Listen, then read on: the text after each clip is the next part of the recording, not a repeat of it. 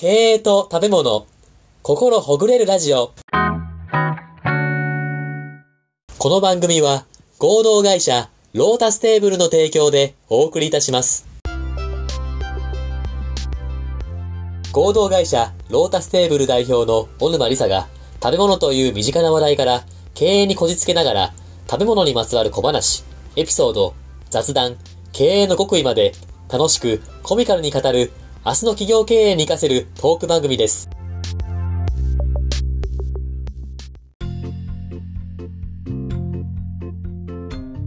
こんにちは。パーソナリティの田村陽太です。配信第16回目となりました。本番組のメインパーソナリティをご紹介します。小沼りささんです。よろしくお願いします。よろしくお願いします。はい、小沼さん。はい。はい、サイコロでまたテーマ決めさせてもらいますので。よろしくお願いいたします。はい、よろしくお願いします。はい、本日のトークテーマはこちらです。唐揚げです。あ、唐揚げですね。唐揚げですよ。大好きですか？唐揚げ。はい。唐揚げ、まあ、好きですけど、はい。あ唐揚げ、唐揚げって調理法なんですよね。えあ、そうなんですか？一応、鶏の唐揚げ、あ、そっか。野菜の唐揚げとか、野菜の唐揚げ？あの、魚も唐揚げとかがあるので、あー、なんかありますね。そうそうそうそうそう。あだから、唐揚げっていうのは、本当は、まあでも大体皆さん、あの、鶏の唐揚げをそイメージしますよねすいま。せん。僕、鶏の唐揚げです。あの、サイコロ作っちゃいました。あ、いいです。あ、鶏の唐揚げでも野菜の唐揚げってありますよね。一応そうなんですよ。はいはいはい。唐揚げって。唐揚げどうですか？何あかお話できまあすでしょうの、かはい。唐揚げは、これはでもまあ、結構皆さん好きですよね、まず。そうですね。うん。で、なんかあの、唐揚げも、なんかあんまり、あの、まあこれちょっと、料理をする側の人間の立場として言いますと、はいはい。なんか唐揚げにしちゃえば、なんか全部美味しくなっちゃうっていうのが。あの、なんかそうですね。あの衣でこう包み込んであなんかジューシー感が出て美味しいんじゃないかみたいな。多少その素材が何ありでも、あの、今唐揚げ粉とかも売ってるんで、あ、売ってますね。はい。あれをちょっとこう、ちゃちゃっとこう、絡ませて、はい。揚げちゃえば、まはいあ、美味しくなるっていう。だから、はいそれはでも、なんか唐揚げってすごいですよね。そうですね。信頼感抜群ですね。抜群ですよね。はい。ねこれあの、あ、これね、あの、田村さんにいい情報をちょっとはい。お伝えしたいですけど、いい情報かどうか。なんでしょうか？あのですね、あなんと、はい。なんとですね、日本唐揚げ協会というは素晴らしい協会があるんですい。よ。そんな曲あるんですか？はい。これちょっとあの、はいあの、ちょっと情報をですね、先ほどあの共有させていただいたんですけど。ああ、ありがとうございます。ありがとうございましたね。はい。はい。これはうん、どどんな教会なんですか、これは？あの、はい。日本の唐揚げが世界をはい。変えるっていう、あの、壮大なビジョンを掲げた協会さんでですね、はい。あの、本当に唐揚げの熱い思いが、この、はい。唐揚げ協会さんのホームページには掲載されているんですよ。これすごいですね、なんか。唐揚げとは唐揚げ検定でもいろいろありますね。ね、じゃあこれぐらい、私はあの結構やっぱり食べ物の仕事をしていて、はい。えっ、と、バナナの会で、あの、バナナ大学っていうのをね、ご紹介させていただきましたけれどもあ、りがとうございます。こういうファンがついてる食べ物っていうのがはい。あるわけなんですよね。で、それをこう突き詰めようっていう人もいて。で、そういう人たちが、こう、教会だったり、あの、大学を作って、はい。あの、そういう情報まとめサイトみたいなのをこう作ってるっていう、あこういうのがちょっとあの見受けられるなっていうのが、で、そ唐揚げはこの唐揚げ協会さんのサイトっていうのが、はいはい。なんかものすごい内容が充実してるので、ほうほあの、ぜひですね、リスナーさん、あの見ていただけると いいかと思って。うなんかあの、最近イベントとか野外イベントとかで、なんかこの B 級グルメみたいな感じで、な中津の唐揚げとか、いろいろ唐揚げの専門店の屋台いっぱい出てますよね。そうですね。そういえばそうですね好きなファンは多分コアなファンは多分一定数いるんでしょうね、多分ね。いますね。唐揚げは、唐揚げってでも嫌いな人いるんですかね？そうですね。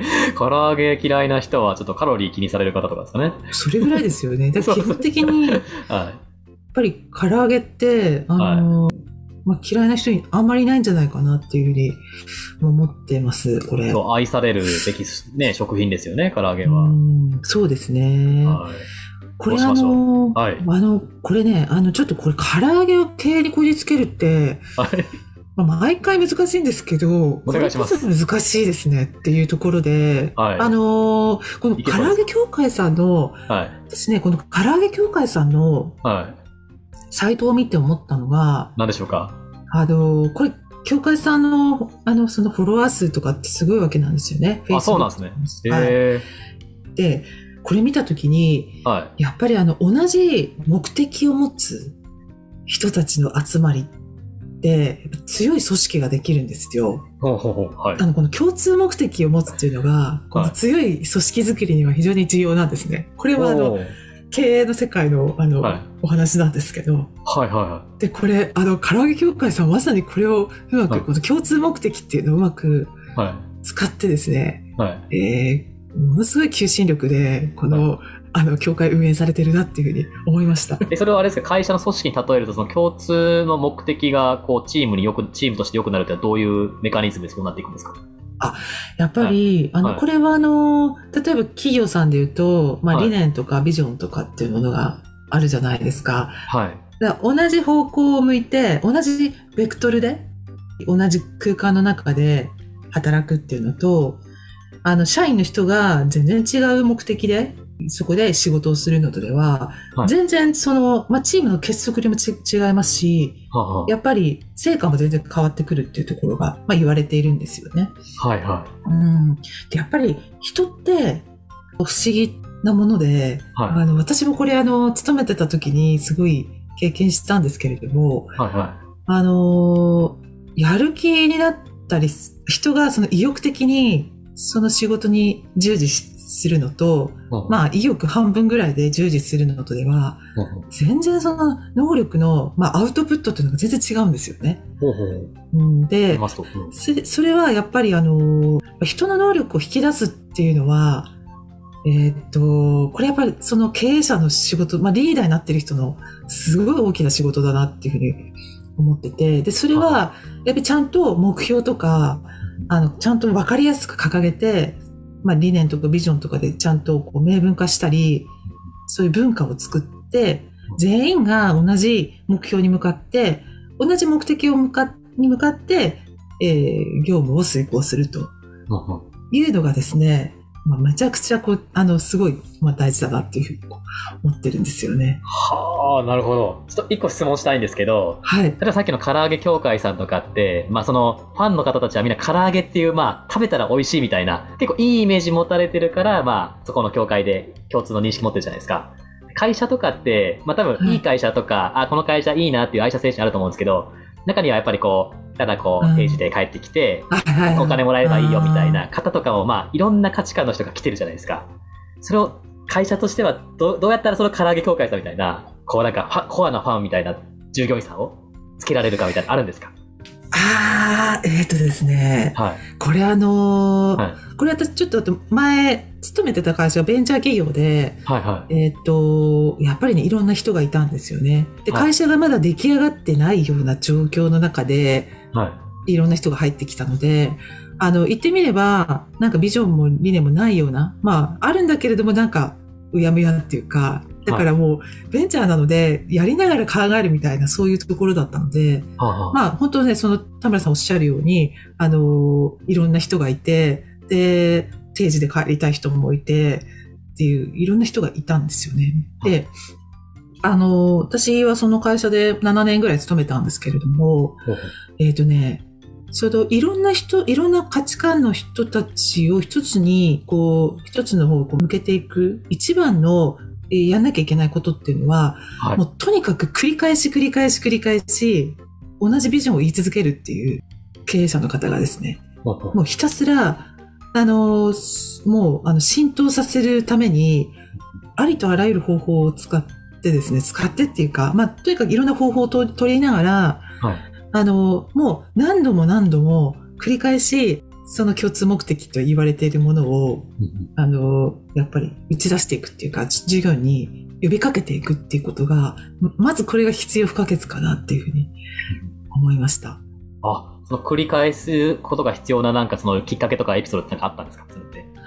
これはだから、やっぱりはいあの、もう途中でね、やっぱやめていくわけなんですよ。あーこんなはずじゃなかったとかですね。はいはい。うんで、それはやっぱり、伝える側の伝える力不足だと思うんですよね。ほうほうほう。と思っていて、私もそれは自分が今会社を経営していて、で、えっ、と、例えばプロジェクトでいろいろやるときには、あの、しつこいくらい言うわけですよ、何回も何回も。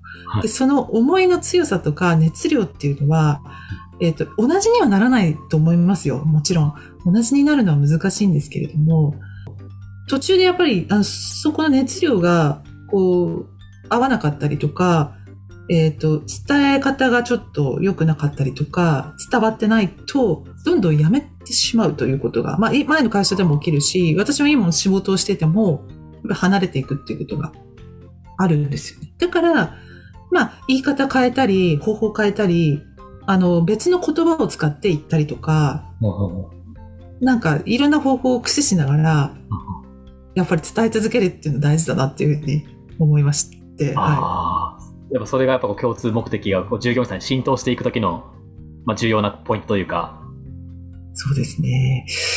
そうですね。あとは、あの、はいはい双方向性っていうのは必要ですね。一方うんはい。一方的に、まあ言うことはもちろんなんだけれども、それに対してどう思うかとか、意見をちゃんと、あの、受け取っていくっていうことも、その浸透させていくには大事かなっていうふうに思うんですよね。ああ、なるほど。一方的に自分の思いだけじゃなくて、従業員さんの思いも汲み取るみたいな。